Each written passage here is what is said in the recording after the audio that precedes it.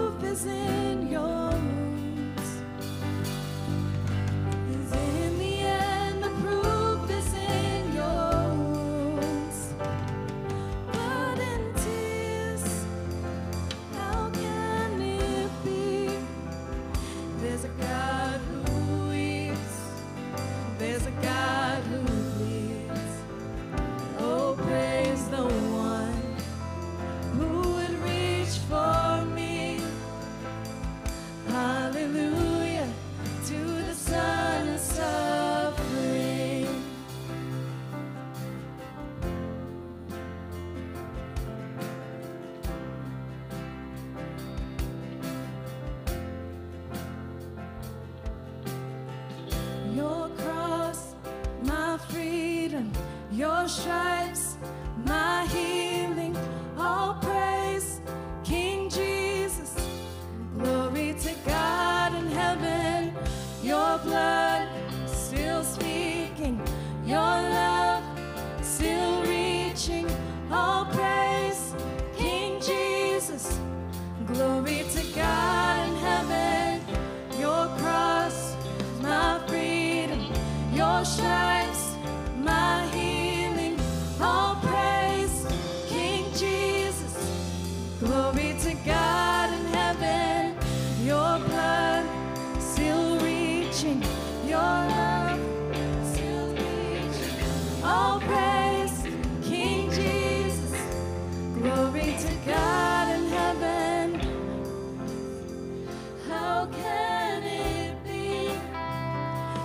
God who weeps. There's a God who bleeds. Oh, praise the one who would reach for me.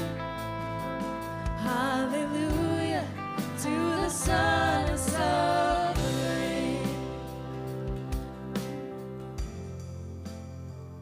How can it be? There's a God a God who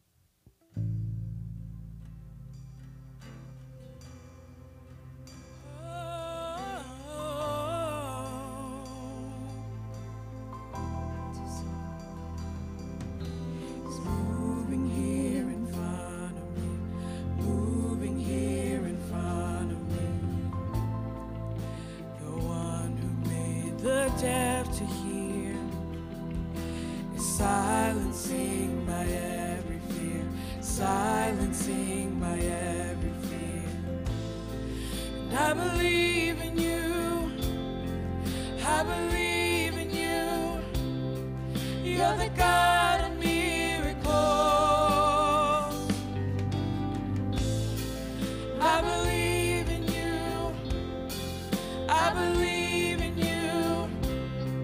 You're the God.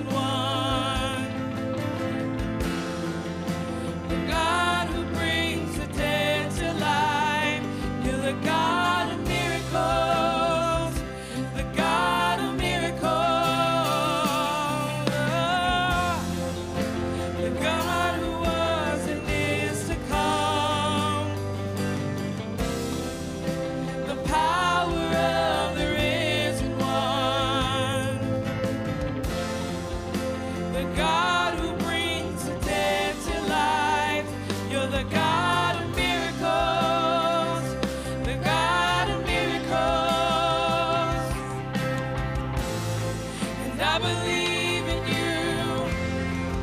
I believe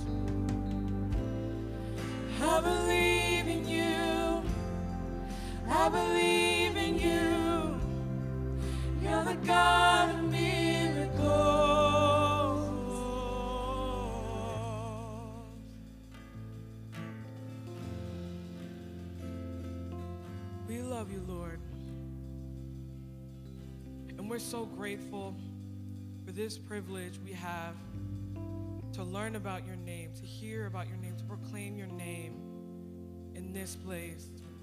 I thank you, Lord. I thank you, Lord, that our hearts will be open to your truth forever and ever. Amen. I will have Dr. Modica.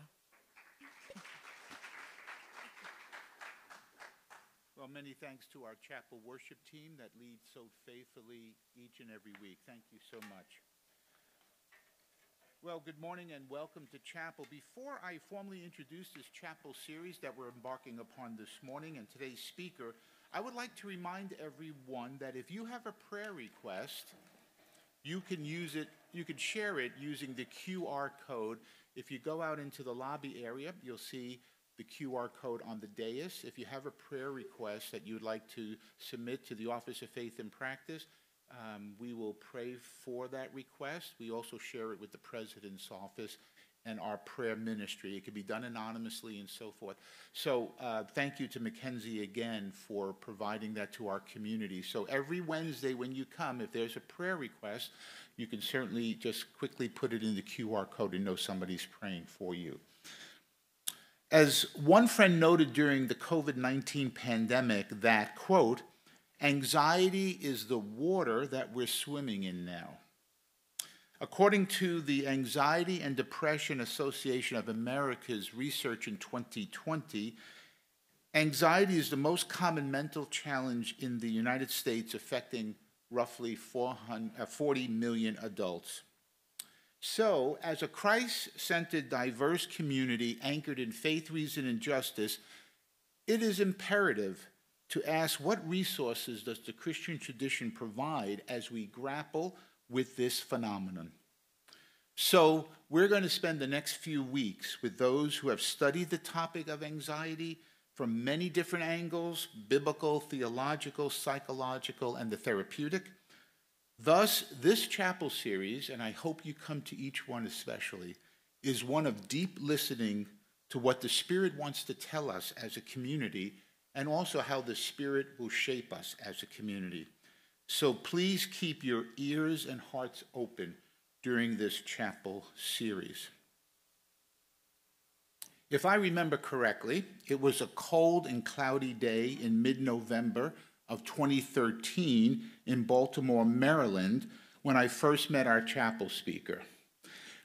Dr. Carey, Dr. Flett, and I were tasked with interviewing candidates for an open position in biblical studies here at the university, and we did so at the annual Society of Biblical Literature conference, a renowned conference with over 5,000 scholars in attendance. But here's the key we only had 20 minute slots for each potential candidate to see if they would be a viable option to bring onto campus for a further interview. We had our set questions that we would ask, and I think we interviewed 20 different candidates in one day. When, our, when this morning's chapel speaker entered the makeshift interview lounge, she was prepared, engaging, and, and, and creative. She even brought with her syllabi of courses that she could teach here at Eastern University. I said to myself quietly, I think we're finished now. Dr. Rhonda Burnette-Bletsch, also known as Dr. Beebe, is professor of biblical studies and department chair of theology. She began her teaching at Eastern University in the fall of 2014 after a distinguished teaching career at Greensboro College in North Carolina. And we're so glad she is here. She's an engaging, caring, and pastoral scholar of the scriptures to sit in Dr. Beebe's classroom is to learn from someone who has encountered God in spirit and in the scriptures. A beautiful combination to behold. Would you please welcome this morning our very own Dr. Beebe?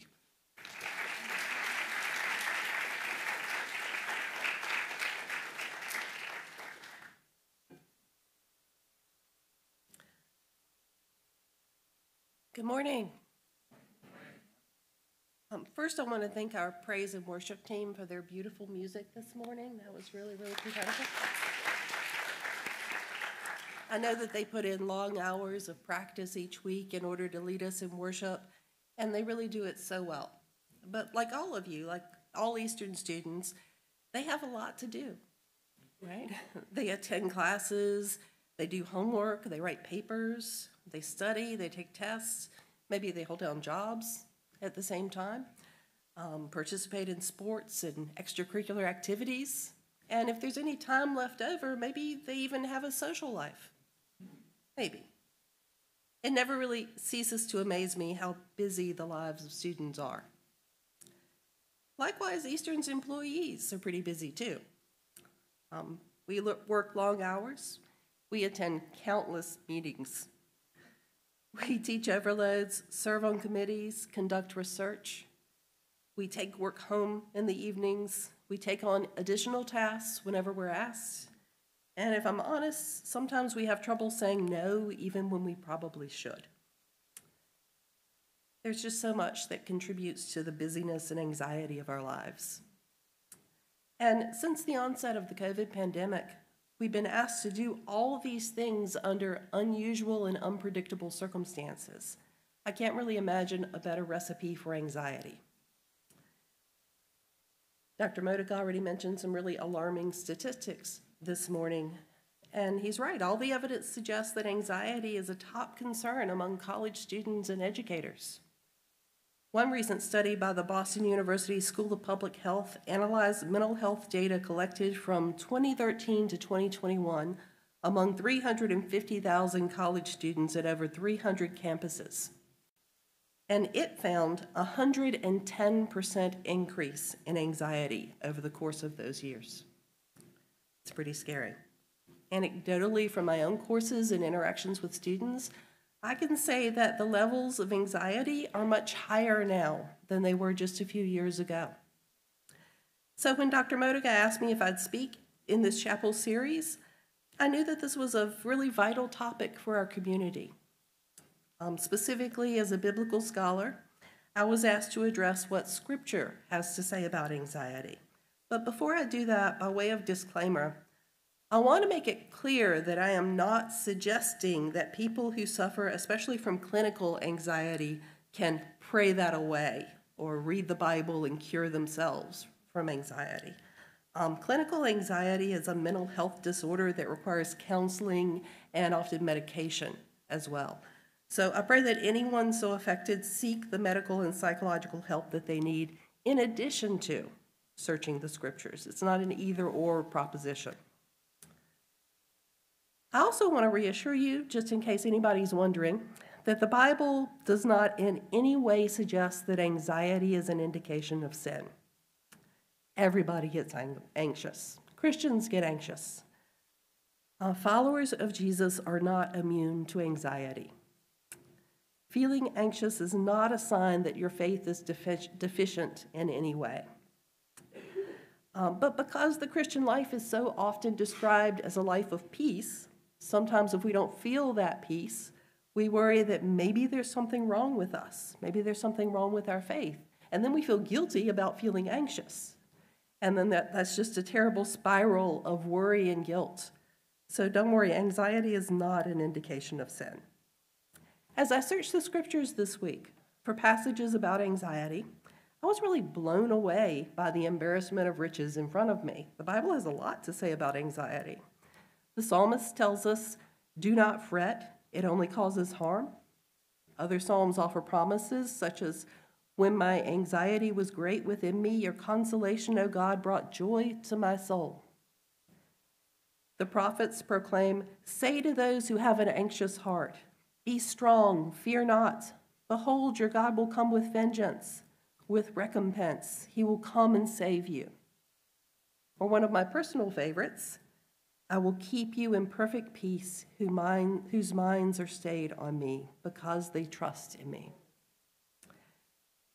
Jesus teaches in the Gospel of Matthew don't worry about tomorrow, for tomorrow will worry about itself. Each day has enough troubles of its own. Which of you, by being anxious, can add a single hour to his span of life? And in the Gospel of John, Jesus says, Peace I leave with you. My own peace I give you. I do not give it as the world gives. Do not let your hearts be troubled, and do not be afraid. The New Testament epistles also have things to say about anxiety. Cast all your anxieties upon him because he cares for you. Scripture has a lot to say on this topic, and obviously I can't even begin to cover it all. So I've decided to focus my remarks this morning on four short verses in the Apostle Paul's letter to Philippi. This is Philippians 4, verses 4 to 8. Rejoice in the Lord always.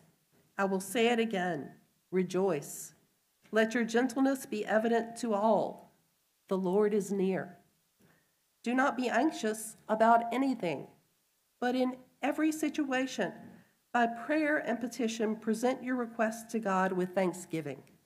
And the peace of God, which transcends all understanding, will guard your hearts and your minds in Christ Jesus.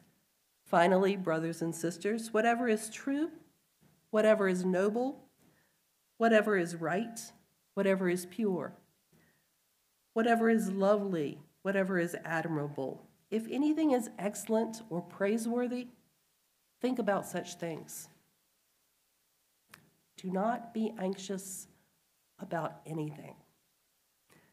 You might be wondering whether Paul's expressing unreasonable expectations in this passage. Don't be anxious about anything? Maybe he meant to say, be anxious for less, or only be anxious on Tuesdays. I think maybe I could do that. Maybe. Um, but a little knowledge of Greek helps us better understand what Paul is actually saying here. He wrote this text in the present active tense, which implies an ongoing state. So Paul is actually saying something like, do not live under the constant shadow of anxiety. Do not be continually anxious. In other words, Paul recognizes that the presence of anxiety is a normal part of the human experience.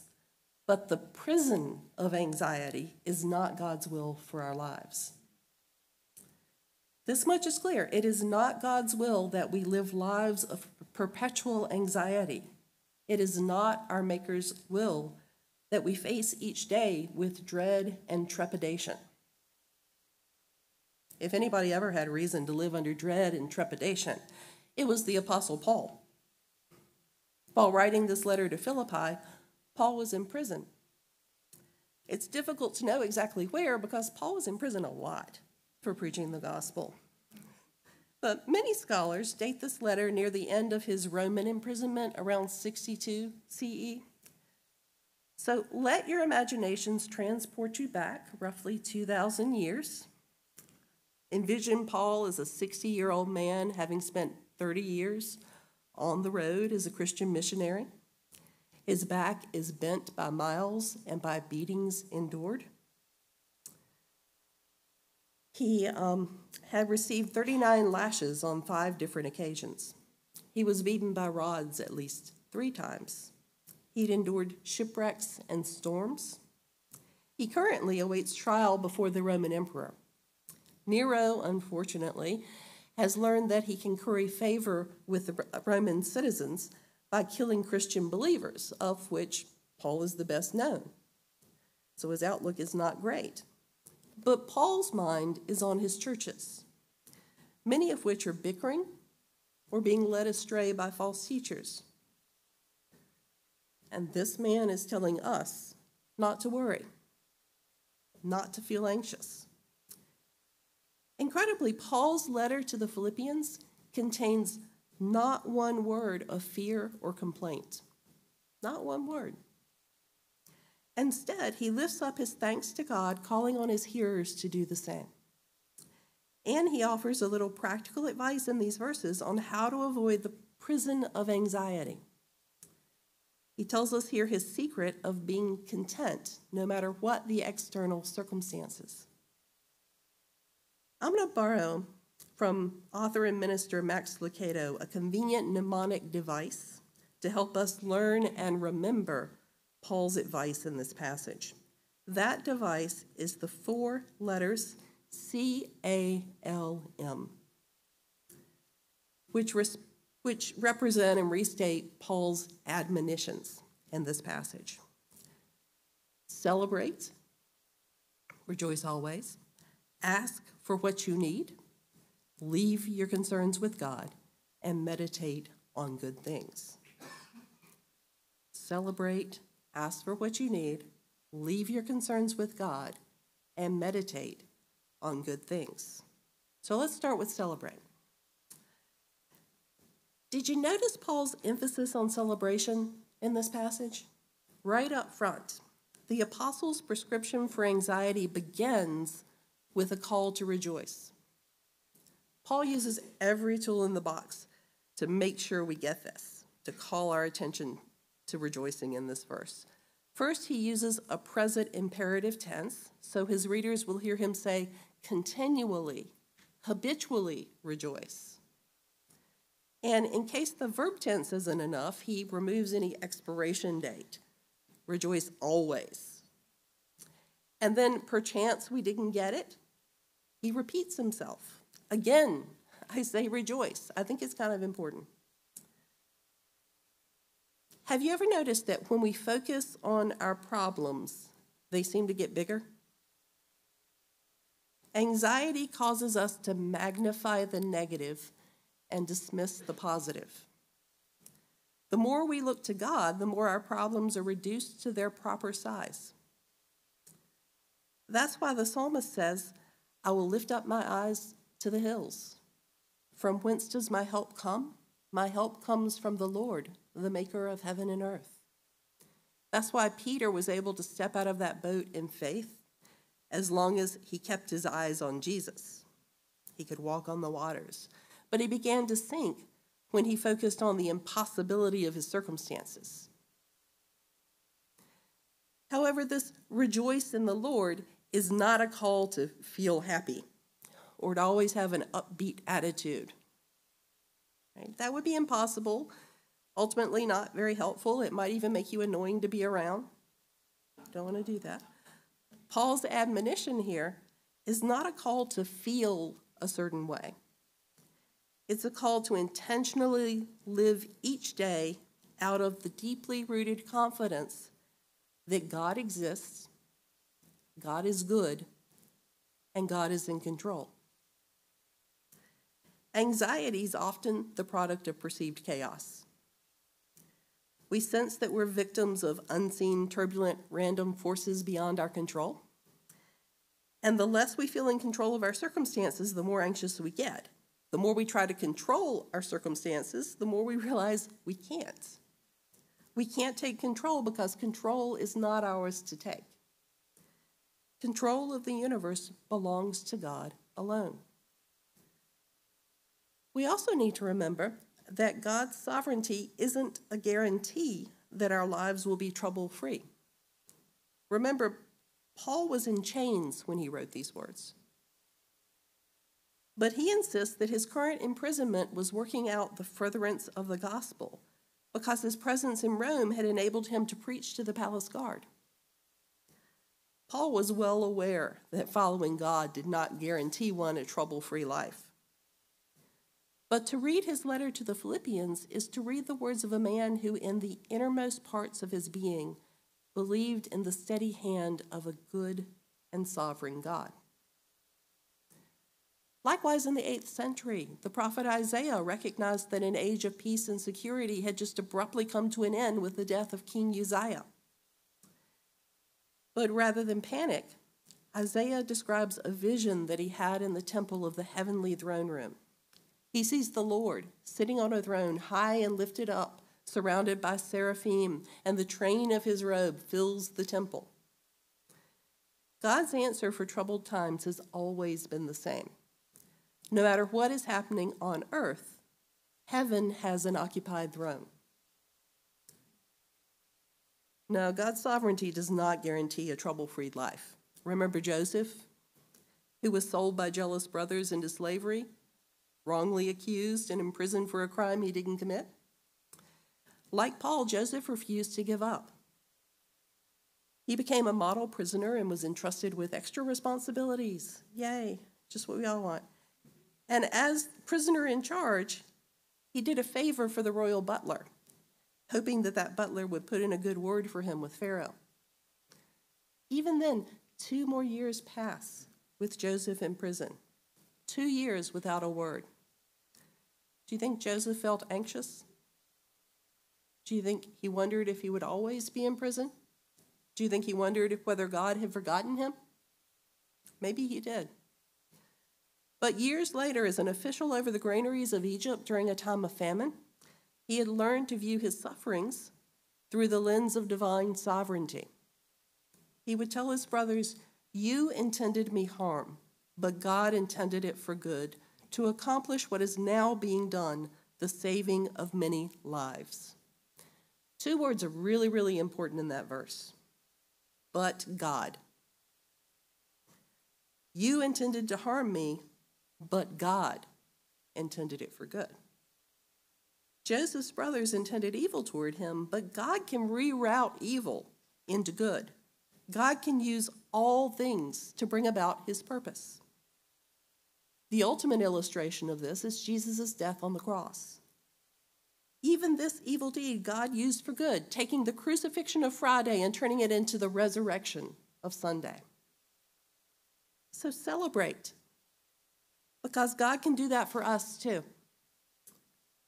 In all things, God works for the good of those who love him, who have been called according to his purpose.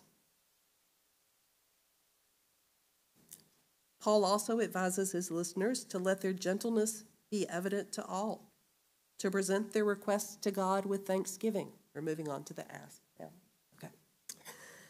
Um, the Greek word that is translated gentleness here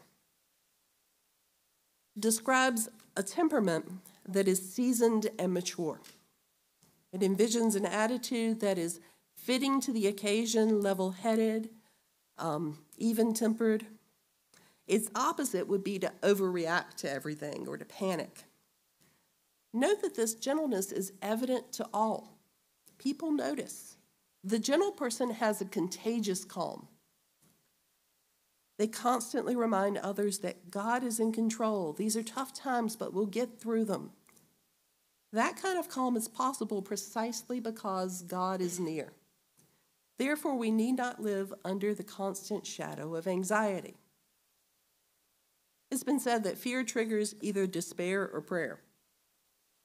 Next time, before striking out in fear or giving in to despair, let's turn to God for help and remember that we're not alone. However, remember, asking God for help doesn't mean that the problem will resolve immediately. Sometimes we get an advanced course in patience. That's good too. But God has promised to be present with us. God is near, and God wants to hear from us. God loves the sound of our voice. God is not like the unjust judge who only grants justice to that persistent widow because she badgers him for weeks. God is more like a loving father who wants to give his beloved children good things. So pray through your problems and make your requests known to God. Cast all your anxieties upon him because he cares for you. To cast something is to relocate it from one place to another. When we cast our anxieties on God, we have to let it go. Um, we have to leave it with God. Leave it with God. That's hard for me. Those of you who know me well will know that one of my few faults is being a bit of a backseat driver. My, my husband can confirm this. Um, I hate highway driving. So, whenever we take a family trip, I insist that he sit in the driver's seat. I'm always eager for him to take the wheel, but in my heart of hearts, I know that he needs my help. right?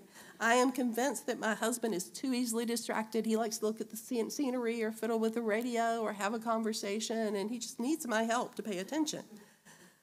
So it's my job to draw his attention to the cars that are driving erratically, changing lane to lane, or braking suddenly in front of us. And the best way to do that is, of course, to gasp really loudly, you know, or grab hold of the armrest with a death grip, or to shout out useful instructions like, watch out! You know, I do my part. But after a couple of hours into every trip, my long suffering husband eventually grits out, Will you just let me drive the car? After we've made our requests known to God, we need to trust God to drive the car. If you're like me, this is the hard part. It's hard to ask God to deal with a problem without following that up with, um, God, are you sure you want to deal with it that way? Wouldn't this be better? We have our own ideas about what we want that solution to look like. For example, most of us would like our anxieties to disappear overnight, right? For us suddenly to become brave and confident and capable with little to no effort on our own part, that would be great. But God might have other ideas. And when that happens, it can be tempting to reclaim that driver's seat. The Bible's most common term for worry is a compound word consisting of the verb to divide and the noun the mind. To be anxious, then, is to have a divided mind. Anxiety chops up our thoughts and our energy and our focus. Um, it sends our awareness in a dozen different directions. We worry about the past, what we did or said yesterday or last week. We worry about the future. What is that assignment going to be like, that test, that game that's coming up? Anxiety takes us away from right now. It takes our attention away from right now and directs it to back then or up there. It keeps us from being present in the moment, which is really all we have been promised. When we leave our promises with God, we might find that suddenly we have more brain space. Suddenly it's easier to be in the present moment without worrying about the past or the future. A wise person once said that the good life begins not when circumstances change, but when our attitude toward them changes. Thanksgiving, an attitude of gratitude, focuses our mindful attention on the good things in our lives. The anxious heart says, Oh God, if only I had that, or I could do this, then I would be happy. But the grateful heart says, Oh wow, look at all you've given me, God. You've given me this and that. Thank you so much, God. Worry and gratitude have a hard time sharing your heart. Right? If you fill your heart with gratitude, there won't be much room left over for worry. Finally, Paul suggests that his hearers quell anxiety by meditating on good things. We, can't, we can control what gets to take up space in our minds. We can't always control our circumstances, but we can control what we think about them. Or to put it more directly, life will persist in giving us lemons, but we don't have to suck on them. Right? Healing from anxiety requires healthy thinking. And it can be really hard to learn new habits of thinking. Sometimes we need help with that, and that's okay. Meditate on good things. I wonder what Paul was thinking about as he sat in that Roman prison cell. Here's an interesting detail about his letter to the Philippians. Within its 104 verses, Paul mentions Jesus 40 times. That's an average of every two and a half verses. So fix your mind on Jesus, abide in him, count your blessings, make the decision to interpret each blessing as a, a sign of God's presence and care. Now let's see if the mnemonic device worked. Can you tell me what C A L M stands for? C? Celebrate. A? Awesome. L? Leave your concerns with God. Great. And M? Meditate on good things. So you guys get an A. Good job. Um, so the next time you feel anxious, don't fall into the trap of fatalistic thinking. Don't try to handle it all on your own. Let your gentleness be evident to all. The Lord is near. It's not your job to know every detail of the future. It is your job to hold on to the hand of the one who does and never, ever let go. In the name of the Father, the Son, and the Holy Spirit, let God, all God's people say, Amen. Amen. Go forth from this place and let your gentleness be evident to all. The Lord is near. Amen.